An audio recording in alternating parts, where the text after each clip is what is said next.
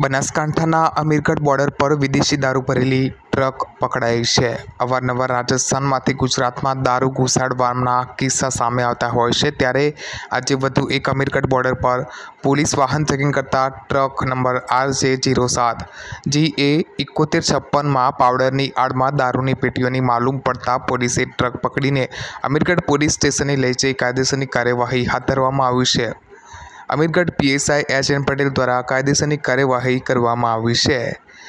તારજી ઠાકોર સાથે Banasratna news bureau report, Amirgadh.